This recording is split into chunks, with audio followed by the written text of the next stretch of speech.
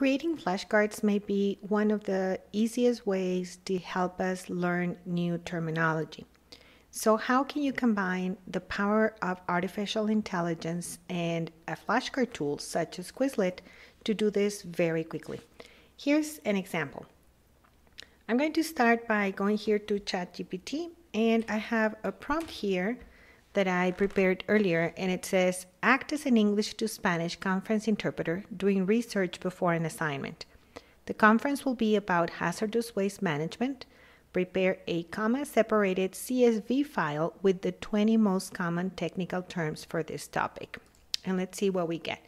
While that is happening, of course, we could get a table or a list of terms, but in this case, I need a CSV file because I am going to copy paste this information into Quizlet. And I see that it's uh, giving me the list here with numbers. I'm just going to go here and say remove the numbers and make sure it's a CSV file and see if it will fix that. Well, in any case, I just need to copy paste, so that's perfectly okay. And I'm just going to wait for that to finish. I'm going to select all of that and copy to my clipboard.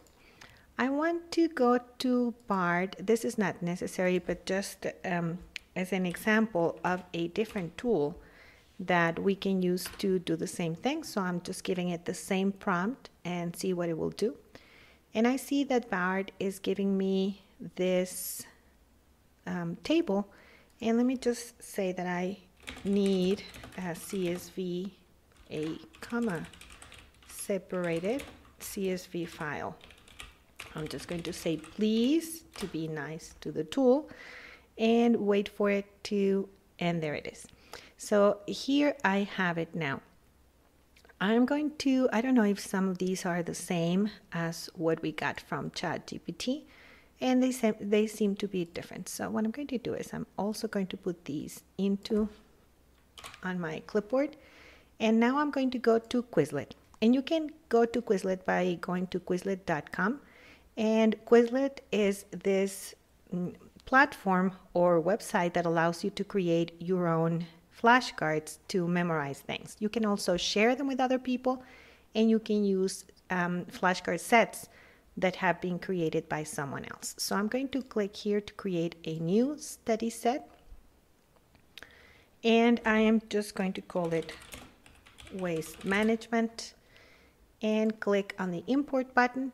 And then it's not truly an import feature, but it's a copy paste feature. So I'm going to paste here the terms that I got from the two tools.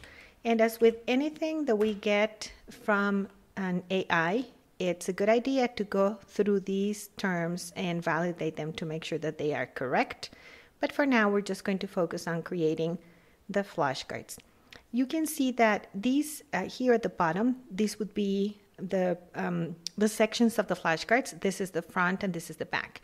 And for now, I have both terms on the front of the card. I don't want that. I want uh, the English term here and the Spanish here.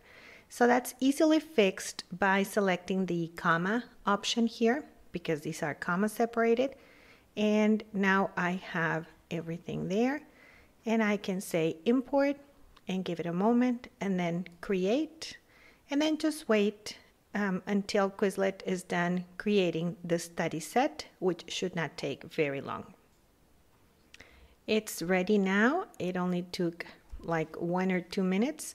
And I have my cards here. So I have the card. If I click on it, I will, it will be flipped and I can see what's on the back of the card. I can go to the next card and do the same thing.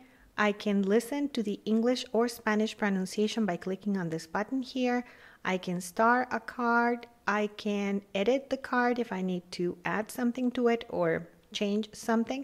And what's very interesting about Quizlet is that I can um, choose to do these learning activities or testing or um, even games to learn the, um, the terminology.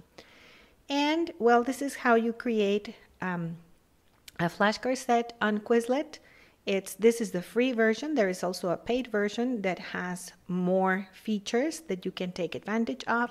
But this was just a quick demo of how in five minutes or less you can create a set of flashcards that you can use to study now. And since these are kept in your Quizlet account, you can come back to them and study them later or even share them with someone else.